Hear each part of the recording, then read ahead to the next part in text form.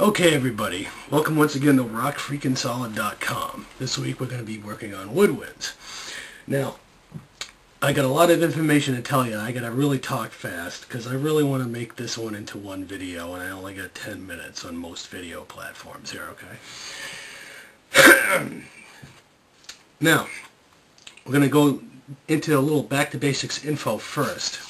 But today we're going to be talking about the mathematical formula for figuring out the precise measurement of a, any given note's wavelength. And this is very important if you want to do any precise tuning for your instruments.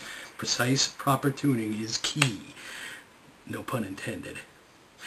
Alright, um, before we get into the formula, let's discuss a little bit about the speed of sound. Now the speed of sound is not necessarily constant, okay? It depends on the media it's traveling through, the matter that it goes through, okay? Sound travels faster through a block of stone than it does through air. Sound travels faster through water than it does through air. Through water slower than it does through stone. It all depends on the matter and how dense or how rarefied it is, okay? Same thing with air. Air can be more dense and more rarefied. It, it's more dense at sea level or even below sea level like at Death Valley than it does where the air is thinner at a mountaintop. If you're like playing a note and you lift a finger and you sound A, the note A at sea level, maybe it's F or G at a mountaintop. And for that reason, we have to like figure a, a common ground. Those of us who make musical instruments, we decide that they should play in tune at sea level.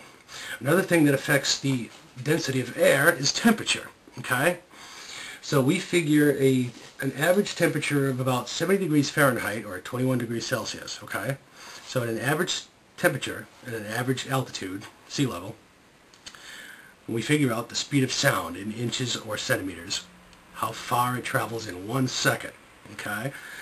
Now let's talk about hertz frequencies, okay? Uh, here's where we go into my little crazy drawing here. I don't draw very well when I'm drawing on the fly. This is supposed to be a speaker, okay? Eh, it's a little smudge. And this is supposed to be somebody's ear. It looks a little weird, okay? And these little dots are like molecules of air, okay?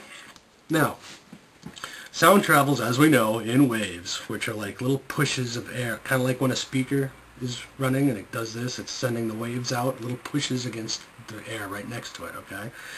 Now, air is free-flowing and stuff, but the, the general air, okay, pretty much stays here. It's the wave that moves through the matter that's moving. That's the important thing that we're focusing on here. So when this speaker pushes and it's sending out waves of sound, it pushes against this molecule, which pushes against the next one and the next one and the next one, and the push gets sent along the molecules. They pretty much generally stay put for, for the most part for our purposes of illustration here. It's the, the push that moves along. It's like, uh, you can pretty much picture these as a bunch of mini micro dudes slam dancing in place along a linear mosh pit. okay? Um, if that makes things easier.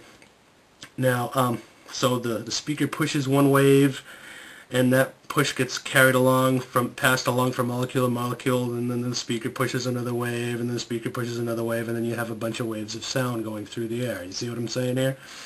So this the the wave of sound goes through air like this. This is a fixed distance we're going to imagine here okay? And the distance of time is a second okay? Now a high note will have a bunch more pushes into the air, a higher frequency. It's more frequent, the kicks through the air, okay? So there'd be like a bunch of these waves for a high note. For a very low bass note, it might be just a few. Do you see what I'm saying here? Okay. Now, back to the uh, temperature and altitude.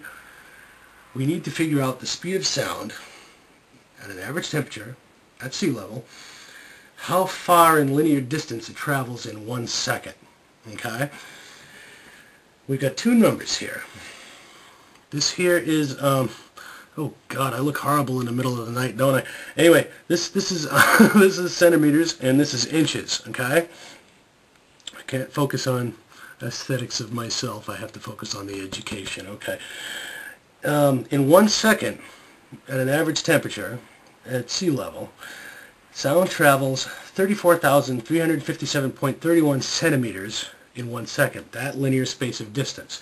In inches, sound travels in one second at sea level at an average temperature 13,526.5 inches per second, that amount of space. It's the same amount of space measured in different units, okay? Now, um, just, just for speed of getting this video out and for ease of explanation, I'm just going to use inches from now on, okay? Um, to figure out how many hertz, named after the guy who figured this all out, hertz is how many how many punches, how many beats, how many kicks along the line of molecules, how many hertz in in in, in a given second in a given space of space and time. Uh, is it depends on what note it is. If it's a high note, again, the frequency is going to be much higher. If it's a low note, it's going to be a slower frequency, a less amount of kicks per packet of space. Okay. Now, um, in let's let's let's use a. All right, for example, the note A.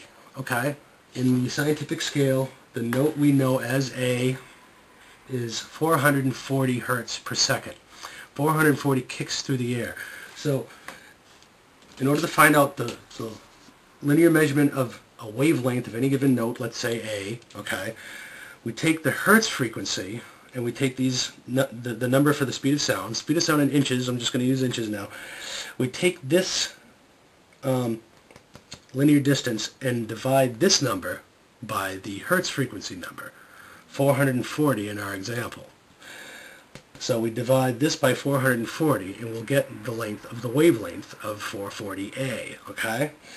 If we divide this by 440, we get 30.74 inches. It's about like 30 and 3 quarter inches, okay?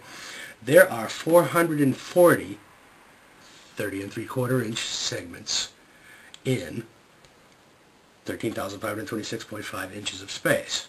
Do you get what I'm saying?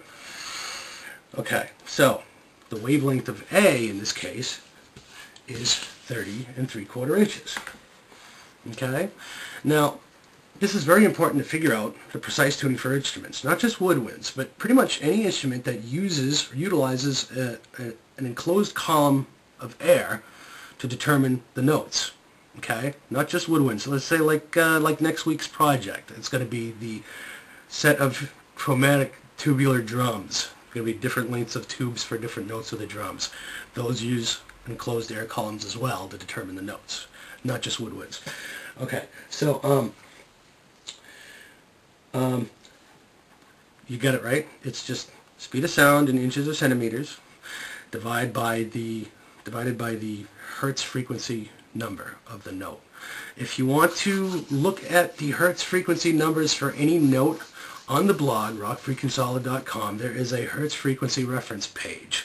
There'll be a link to it in today's post on the blog. Come visit the blog. There'll, there'll be a link to it in the uh, video description too. But there's a lot more information than just this in this uh, video in the blog post.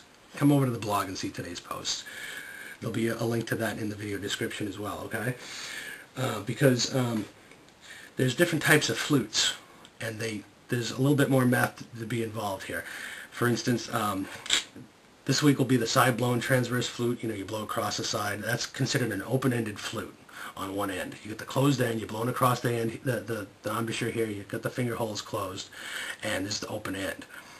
An open-ended flute like that needs only to be a half a wavelength long to blow the fundamental or root note, the lowest possible playing note with all finger holes closed. So therefore, if you want the fundamental note of a transverse flute to be 440A, it only needs to be a half wavelength long or 15 and 3 eighths inches long. Okay? You got that?